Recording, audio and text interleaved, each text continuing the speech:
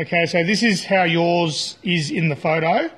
If you remove this bolt, you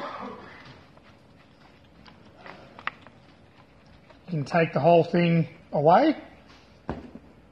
This is your umbrella holder that you would have received. So you've got one bolt there.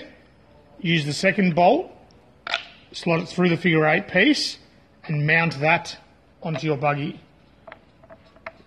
So screw that until it's firm. Then you can adjust this up and down and use this other bolt to adjust left and right.